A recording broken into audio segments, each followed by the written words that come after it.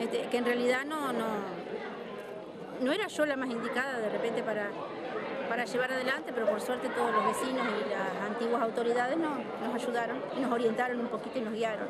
¿Cuál fue el motivo de la reunión, maestra? Eh, en primer lugar fue informativa, para explicarle a la gente la nueva modalidad que está solicitando el municipio para presentar proyectos para la reconstrucción de, diferentes edificios.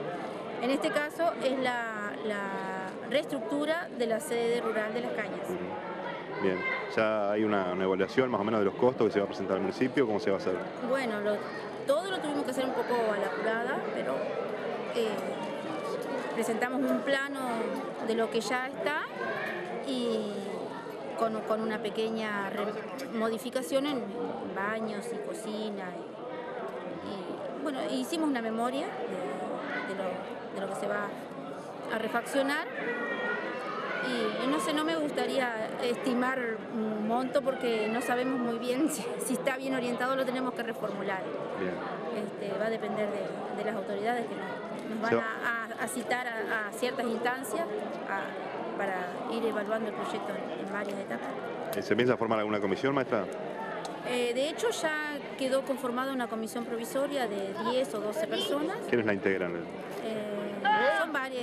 El, señor Corcho de León, que es el antiguo presidente, que es el que nos tiene experiencia y nos va a, bueno, a, guiar. Porque de los demás no tenemos este, experiencia ninguna en, sociedades, ni en sede, salvo la comisión de la escuela, en el caso mío. Y em, después continúa el, muchacho eh, Darío Nieto, por ejemplo, de feria, el señor Hugo de León, eh, Hugo Martínez, ay por Dios, no, Hugo, Bonilla, eh, un señor Pagola, que está oficiando de secretario ahora por suerte.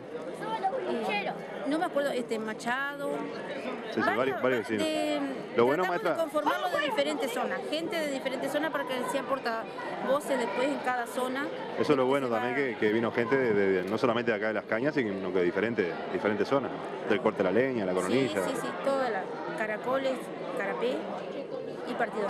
Lo importante, ¿verdad? Que, que, la sociedad tenga vida, ¿verdad? Que se, que se reúna la gente, que como veíamos los niños jugando acá, ¿verdad? Que, que puedan volver nuevamente, ¿verdad? No, ese es el objetivo, que funcione como un centro de encuentro para toda la gente, que es lo que necesita. Y para... Y para trasladar eso, la problemática también de... Para que ellos tengan un lugar donde, donde ellos, nosotros, yo hablo un poquito de acá y otro poquito de allá, porque no soy efectiva acá en la zona, pero... Eh, que tengan un lugar donde reunirse y tratar los temas que, que, son referentes de ellos. Generalmente no tienen espacio y, o si no se tienen que trasladar grandes distancias para ir a conseguir lo que necesitan. Este primer paso fue importante, entonces, por, por, la gente que vino, ¿verdad? Creo que sí, yo ando un poco perdida porque no sabemos ni muy bien cómo son las directivas ni cómo funciona la sede, pero ahí vamos a ir aprendiendo. Muchas gracias. Bueno, muchísimas gracias a ustedes y a los medios que siempre están este, comunicando e informando a la gente. Y vamos a necesitar mucho más de estas instancias con la prensa para, para informar, porque el área rural es muy extensa y es de la única manera que podemos llegar a